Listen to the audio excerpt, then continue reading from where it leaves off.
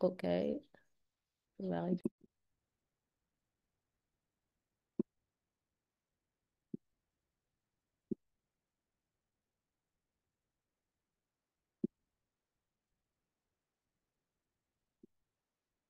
Hotep à vous toutes et tous. Euh, très heureuse d'être euh, avec vous pour euh, bien ce discours inaugural qui va lancer la prochaine session de l'Institut Kimet Chant Diop Abidjan.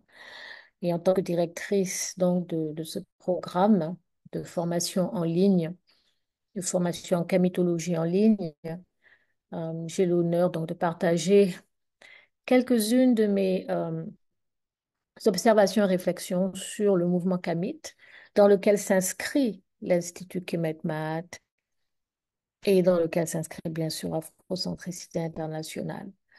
Nous sommes dans une dynamique, n'est-ce pas, pour euh, modifier les conditions, les modalités de notre existence, euh, modalités souvent désastreuses et qui ont été créées, bien sûr, par le colonialisme, le néocolonialisme et avant ça, l'esclavage. Et nous savons que euh, nous sommes toujours colonisés, que nous en soyons conscients ou pas, ne change rien. Et c'est encore une fois dans ce contexte que je voudrais aborder cette conversation euh, à propos du mouvement kémite, kamite. Um, je voudrais d'abord le placer euh, dans son contexte global en disant qu'il y a de toute évidence un bouleversement géopolitique majeur euh, qui en fait détrône l'Occident pour permettre à une, un nouvel équilibre, un nouvel ordre mondial, si vous voulez, euh, de, de, d'émerger, ce qu'on appelle le multipolarisme à, à l'inverse de l'unipolarisme. On avait en gros l'Occident, c'est-à-dire euh, les États-Unis en tête, bien sûr, et l'Europe, surtout l'Europe occidentale, euh, qui formait donc un bloc euh, qui cherchait à dominer, à dominer le monde et nous en particulier les Africains. Donc, quand on voit ce qui se passe par exemple en, Afrique de l'Ouest, en particulier les pays du Sahel avec l'Alliance euh, pour le Sahel, etc., on voit bien que les choses sont en train de changer. Il y a le Sahel, il y a la Centrafrique, il y a d'autres pays en Afrique qui vont euh, tôt ou tard, comme la Guinée et d'autres, euh, euh, suivre, les, les, pas de ces trois pays hein, du Sahel, à n'en pas douter. Um, et ce qui est aussi très important, justement, c'est qu'en même temps qu'il y a ces bouleversements géopolitiques, il y a aussi um, un éveil prononcé, de plus en plus prononcé, de la conscience africaine pour ce que l'on appelle une renaissance de l'Afrique. Et c'est donc c'est dans ce cadre-là que je voudrais parler du mouvement kémite ou kamite. Il n'y a pas de, de terme euh, encore euh, qui fait un consensus euh, général. Kamite, parfois, certes, a désigné les ressortissants africains de l'Afrique et de la diaspora, qui ne sont pas forcément conscients. Le terme kémite est utilisé justement pour parler des kamites qui, eux, sont conscients. Et puis, il y a bien sûr euh, une résurgence du panafricanisme, puisque ça, c'est devenu vraiment le mot à la mode. Tout le monde est panafricain, tout le monde est panafricaniste. Tout cela témoigne d'une effervescence euh, dans le milieu africain. L'espoir et le, le désir d'une autre réalité parce que parce qu'on a marre en gros. Donc, quand on fait la généalogie, intellectuelle et politique de ce mouvement, on se rend compte que c'est un mouvement qui s'inscrit dans une longue tradition de résistance africaine à la domination blanche. Euh, c'est aussi un mouvement qui se rattache à la négritude et son affirmation d'une personnalité africaine euh, digne de son nom. Et c'est aussi, bien sûr, euh, un mouvement qui se rattache au panafricanisme et son désir et sa quête d'unité, d'unité de l'Afrique. Mais euh, quand il s'agit du mouvement kamite, euh, ses racines les plus les plus euh, récentes sont Diop, Cheikh Anta Diop, et l'historiographie qu'il nous propose, et le nationalisme culturel prôné par l'afrocentricité. Alors, Cheikh Anta Diop est, à mon avis, euh, sans qu'on puisse le contester, le père vraiment du mouvement Kamite ou Kémite. Et l'on sait que la conception du passé africain euh, qui caractérisait euh, Diop s'articule autour d'un double axe, horizontal et vertical. Alors, horizontal, cela permet à Diop d'affirmer qu'il existe une unité culturelle fondamentale des peuples africains. Et la dimension verticale permet à Diop euh, d'expliquer que cette unité culturelle fondamentale, en fait, est attribuable à une origine commune, la vallée du Nil. Ensuite, Diop aussi replace euh, l'Afrique dans l'histoire du monde et, affirme que contrairement à ce que euh, les Occidentaux racistes et imbus de préjugés ont, dit et écrit, euh, qu'en fait le reste du monde doit beaucoup à l'Afrique parce que l'Afrique, en fait, est non seulement la, même le berceau de de l'humanité, mais aussi le berceau de la civilisation humaine. Et donc, qu'il y a beaucoup de choses qui ont été inventées en Afrique et qui se sont propagées en fait au reste du monde. La philosophie, les mathématiques, l'architecture, l'astronomie, etc., etc., etc. Et donc, ce que Dieu propose et ce qu'il instaure, c'est une véritable révolution en vérité, c'est qu'un regard différent sur les Africains, non pas comme des êtres euh, passifs euh, qui ont attendu que les Blancs viennent nous réveiller de notre torpeur tropicale, mais des, hommes et des femmes qui étaient activement engagés dans la construction d'une histoire qui est en fait la plus longue, la plus longue histoire sur Terre. Et dans la construction d'une culture aussi qui est extrêmement riche. Et donc, euh, il s'agit d'une approche totalement révolutionnaire. Et ça peut expliquer évidemment pourquoi Diop a été, a été autant combattu, parce que ce qu'il nous proposait, c'était vraiment de, mettre un terme à, au complexe d'infériorité que, que l'on nous avait inculqué. Et Diop appelait, euh, c'était ses propres termes, une révolution culturelle. Il, disait, il y a une seule, seule révolution culturelle peut maintenant produire des changements qualitatifs significatif. Et cette révolution culturelle réveillera le géant qui sommeille dans la conscience de chaque Africain. Et pour lui, cette, cette révolution culturelle devait forcément s'appuyer sur les bases culturelles fondamentales, les bases culturelles classiques de l'Afrique, encore une fois, qui renvoient à la vallée du Nil. Donc c'est pour ça que Kemet est aussi important pour nous. Euh, et c'est pour ça, évidemment, que les Occidentaux ne veulent pas concéder que Kemet était bien, bel et bien une civilisation africaine. Parce que leur mythe de la historicité, de l'infériorité culturelle de l'Afrique, etc., euh, ne tiendrait pas, ne tiendrait plus la route. Et nous, nous avons besoin de Kemet justement parce que nous avons besoin de nous ancrer, n'est-ce pas, de, de, de délaisser les bases culturelles occidentales, la Grèce, la romantique, pour nous réancrer chez nous-mêmes, Kemet, la Nubie, etc. Bon, maintenant, euh, il faut aussi admettre qu'il y a quand même trois problèmes euh, que, présentés par Dieu pour la conscience kémite. Le premier problème, c'est que Diop était, il avait une pensée matérialiste, non afrocentrique, parce qu'il attribuait au climat euh, un produit culturel et donc euh, ce n'était pas la spiritualité ou autre qui nous guidait, mais le fait qu'on vive dans tel ou tel climat, pour lui, c'est ce qui expliquait euh, la culture d'un peuple donné. Donc, c'est un élément matériel, le climat. Et il faut savoir, bien sûr, que cette notion de déterminisme géographique venait, vient du darwinisme social c'est une variante du darwinisme social du 19e siècle en Europe, un darwinisme social qui était bien sûr un théorie très raciste euh, et très élitiste.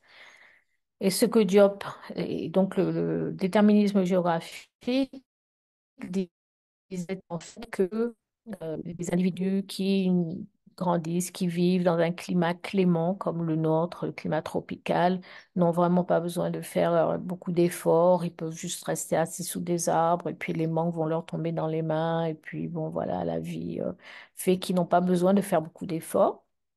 Et du fait qu'ils ne fassent pas beaucoup d'efforts, eh bien, ils ne font pas, ils n'accomplissent pas beaucoup, beaucoup de choses, en fait. Tandis que les Européens qui, eux, ont dû à, se battre contre la neige, le froid, la glaciation, etc., eux, ils, se sont forgés un caractère de guerriers, de combattants et de gagnants, et ils se sont dépassés. C'est pour ça que maintenant, ils mènent le monde entier. Ça, c'est, c'est ce qu'il disait.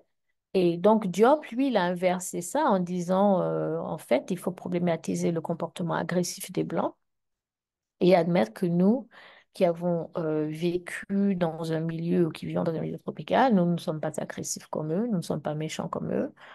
Euh, voilà, donc encore une fois, c'est le climat, selon Diop, qui, qui explique la culture, l'attitude d'un peuple donné. Et de ce fait, euh, Diop décourageait euh, le sentiment de fierté raciale, puisqu'il disait, écoutez, ce n'est pas parce que vous êtes euh, spéciaux, nous les Africains, que nous avons construit ces choses incroyables, les pyramides, les temples. C'est simplement à cause du climat. Il disait que n'importe quel autre peuple, n'importe quel autre groupe qui se serait trouvé dans des, conditions climatiques similaires aurait développé une civilisation similaire. Donc, il n'y a aucune raison de se gargariser et de dire que voilà, ben, on est fier parce qu'on est noir. Et puis, il y a aussi un autre aspect de Diop qui est un peu problématique. Euh, pour lui, il n'y a pas vraiment de spécificité culturelle. C'est un peu une contradiction quelque part, mais il dit qu'en fait, comme tout a été créé en Afrique, eh bien, on peut, nous les Africains, on peut tout, emprunter comme on veut. Et donc, ça, ça devient un peu euh, problématique, cette notion en fait d'universel culturel. Puisque ce qu'on recherche, c'est se recentrer sur nous-mêmes euh, rebooster notre euh, estime de nous qui est assez basse à cause de, bien sûr, ce discours raciste auquel nous sommes exposés depuis euh, non, non. Et donc, euh, tous ces aspects de la pensée de Diop ne, ne nous conviennent pas euh, forcément. Donc, Diop disait par exemple, la civilisation africaine aurait pu être créée par n'importe quelle autre race, pour autant qu'il est possible de parler de race, qui se serait trouvée dans un berceau aussi favorable et aussi unique. Donc, encore une fois, euh, voilà, il il faut pas se gargariser de ce qu'on a fait parce qu'en fait, voilà, on a eu la chance de se trouver là, mais nous-mêmes, personnellement, il n'y a pas de génie africain. En fait, c'est ce que tu as pu dire, il n'y a pas de génie africain. Et c'est là que l'afrocentricité intervient Euh, parce que l'afrocentricité, évidemment, n'est pas forcément d'accord avec Diop là-dessus. Et l'afrocentricité propose en fait euh, une position nationaliste noire avec ce que j'appelle un fort accent sur la culture en tant que noyau de l'identité et de l'unité. Donc ce nationalisme culturel kamite est fondé sur une conscience de soi qui est très forte euh, et qui est activée par la mise en valeur de racines historiques et culturelles profondes puissante et commune. Et donc, euh, il s'agit maintenant, en fait, de, de cultiver qui on est en tant que Kamite, de se réapproprier de nos valeurs culturelles pour nous remettre debout, en fait. L'afrocentricité, c'est ça. Donc, dans euh, le mouvement Kamite, il y a maintenant Kama, qui est la nation, la nation Kamite. Il ne s'agit pas d'une entité politique, d'une nation au sens politique, mais il s'agit d'une nation au sens euh, symbolique, si vous voulez. Euh, et ce qui distingue les, comment dire, les, les citoyens de, de Kama des, de ceux qui ne- n'appartiennent pas à Kama, eh bien, c'est euh, un certain nombre de marqueurs. Alors, il y a d'abord les aliénés. Ce sont ceux qui ne sont pas kémites, qui sont pas, ils peuvent être kamites, africains, si vous voulez le prendre comme ça, mais ils sont aliénés, ils sont à l'aise dans le système, ils ne connaissent rien, ils ne comprennent rien, ils s'en foutent. Euh, donc voilà. Et puis, donc, euh, pour être citoyen de Kama, non seulement donc il faut être éveillé, être conscient de certaines réalités, mais il y a aussi euh, d'autres critères. Alors, les noms, qui, ça procède de ce que j'appelle l'auto-identification, c'est très très important. Euh, se nommer soi-même, rendre aux Blancs leur nom, ces noms d'esclaves, ces noms de colonisés. Et donc, on se nomme soi-même. C'est pour ça qu'on a Kama, qu'on a Kémit, Kamit. Et puis, on prend euh, des noms, des noms, des noms euh, qui reflètent qui nous sommes. Il y a d'autres marqueurs du mouvement Kamit, une chronologie Kamit, donc on a notre calendrier, notre système de valeurs morales avec la Maat, et euh, un aspect très important de ce système de valeurs qui est la vénération ancestrale. Donc nous parlons beaucoup de nos ancêtres. Il y a d'autres aspects, c'est un mouvement qui est catégoriquement hétérosexuel. Euh, donc le wokisme vraiment n'a pas, vraiment sa place, euh, n'est pas compatible avec le kamitisme. La femme africaine est une reine et l'esthétique kamite, eh bien évidemment, c'est le naturel africain. Nous avons aussi des symboles kamites comme les kouris, la croix ankh. Nous avons des salutations kémites, Otep, Ankh, Uja, Senem. Euh, nous nous appelons entre nous en utilisant des termes de parenté comme maman, maman, papa, frère, sœur, qui affirment donc que nous formons en fait une famille, la famille kémite. Dans le naturel dont je vous parlais, ces symboles que la croix en particulier, qui est particulièrement importante pour le mouvement euh, kémite. Euh, nous avons aussi nos célébrations avec le Nouvel An, Kamit, avec Kwanzaa, nous avons Marcus Garvey. Euh, ça, ce sont les trois principales célébrations. Il y en a qui ajoutent d'autres célébrations, euh, mais ça, en général, c'est les trois fondamentales. Du point de vue politique, le mouvement Kamit est anti-occidental, en particulier anti-France, et évidemment, est panafricain, dans le sens de rechercher l'unité et affirmer la valeur de notre continent. Alors, je vais terminer ici avec euh, quelques défis et limites du kémitisme. Euh, pour le moment, bon, c'est un mouvement qui est encore jeune, à peu près une vingtaine d'années que ce mouvement Camille a commencé à émerger. Donc, nous avons besoin d'institutions pour soutenir cette idéologie. Par exemple, des écoles, entre guillemets, je n'aime pas vraiment ce terme, mais euh, des télévisions, des, radios, euh, etc. C'est pour ça qu'à Afrocentricité International, nous nous sommes lancés dans l'élaboration d'un temple pour la Renaissance camite en Côte d'Ivoire. Nous recherchons aussi l'indépendance économique parce que ça, c'est un problème. Malheureusement, les Kémites en général ne sont pas des gens extrêmement euh, riches, à quelques exceptions près. Donc, il y a toujours ce problème des moyens, des moyens économiques que le mouvement Kamite n'a pas forcément euh, pour réaliser ses projets. Euh, c'est pour ça aussi qu'Afrocentricité International euh, s'est lancé dans l'élaboration d'une plateforme d'épargne et d'investissement CAME que nous appelons TACETI et que nous espérons bien lancer dans les prochains mois.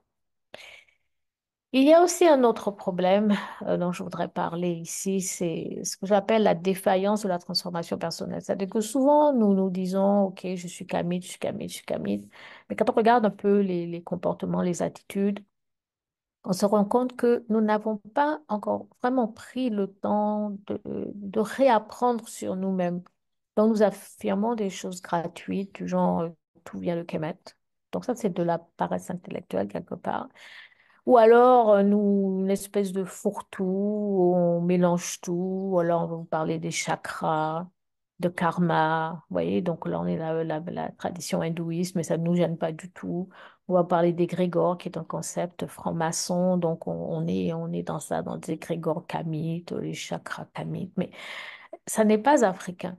Donc, il y a, il y a euh, vraiment un travail voyez, de, de, de, comment dire, de formation intellectuelle qui est très, très important parce que si on ne fait pas cet effort-là, eh bien, on va toujours rester, en fait, euh, emprisonné euh, dans leurs concepts. Bon, les concepts des Occidentaux, c'est une chose, mais les concepts des Indiens, ce n'est pas mieux pour moi. Euh, donc, vraiment un travail de réappropriation de nous par la connaissance. Et c'est pour ça et dans ce cadre-là que nous proposons justement ce programme d'éducation en camétologie. Cela va faire, ça fait deux ans maintenant que nous avons commencé. Nous avons déjà formé euh, un certain nombre de frères et sœurs. Ce que nous recherchons vraiment, c'est former une vraie élite, l'élite kamite, celle qui va pouvoir amener notre peuple, notre continent, notre race euh, vers la liberté, vers la libération. La première forme de libération, c'est la libération spirituelle, la libération mentale. Donc, nous cherchons à former une élite. Et c'est pour ça que, encore une fois, nous, vous- nous vous vraiment euh, invitons à prendre cela au sérieux. Vous pouvez vous inscrire à un cours, vous pouvez vous inscrire à deux cours, trois cours, vous pouvez vous inscrire pour toute la formation, ou bien, euh, encore une fois, prendre un cours pour voir comment ça se passe. Euh, vous voyez le, les informations qui mettent euh. Euh, vous pouvez donc avoir tous les enseignements, les renseignements que vous voulez. Et encore une fois, nous ne devrions pas prendre ça à la légère. Si nous avons euh, mis cette euh, formation en ligne, c'est précisément pour répondre à cette exigence, n'est-ce pas? Cette exigence d'une formation en bonne et due forme, parce que nous nous devons ça. L'Afrique mérite qu'on la traite avec respect et l'Afrique mérite qu'on l'étudie avec respect et avec sérieux. Et c'est ce que nous proposons. Il y a aussi, euh, comme je disais, des défaillances au niveau de la transformation personnelle, toujours, euh, un manque de respect pour nous-mêmes, en particulier nos traditions spirituelles et la philosophie qui les porte. Donc, on voit des gens qui font un peu n'importe quoi, donc on qui mélangent les traditions, euh, qui, qui prennent des rituels étrangers et puis qui vous disent qu'ils vont les africaniser. On vous parle de baby shower afrocentrique, de Noël euh, afrocentrique, des, bêtises comme ça. Donc, encore une fois, ça renvoie à ce dont je parlais tout à l'heure. Euh, savoir qui nous sommes, étudier l'Afrique, étudier sérieusement. Nous avons encore notre problème, c'est la recherche de la célébrité rapide. Nos égos euh, deviennent incontrôlables. il y a beaucoup d'opportunistes. Il y en a qui cherchent à se faire de l'argent parce qu'ils savent qu'il y a une quête sincère d'africanité. Euh, et puis il y en a donc encore une fois dont l'ego est énorme et qui cherchent à se poser comme le sauveur, l'expert, etc., etc. Donc il faut vraiment mettre tout ça euh, en veille et puis s'engager concrètement euh, pour nous-mêmes et par nous-mêmes. euh, arrêter cet activisme digital qui nous plaît beaucoup. On clique, on clique, on aime et puis on pense qu'on a vraiment fait quelque chose de majeur alors que ce n'est pas vraiment le, le, fait. Le, euh, ce n'est pas vraiment, ce n'est pas euh, vrai en fait. On a, on a, on a encore vraiment rien fait. Et donc je terminerai ici en disant que En fin de compte, la capacité du mouvement Kemet à surmonter ou au moins à relever ces défis que je viens de mentionner, et puis d'autres encore, déterminera son destin et son succès. Donc, en d'autres termes, euh, l'avenir de l'Afrique est vraiment entre nos mains. Est-ce que nous prenons ce mouvement kémite au sérieux et est-ce que nous voulons vraiment qu'il réussisse à transformer les conditions dans lesquelles nous vivons, les conditions mentales, les conditions intellectuelles, les conditions économiques, les conditions spirituelles, les conditions politiques, ou est-ce que simplement nous nous amusons? J'espère que ce n'est pas le cas et encore une fois, je vous invite à vous inscrire à cette session qui commence le 1er février. Euh, de l'Institut Kemet Mahad Charanta Diop, au TEP.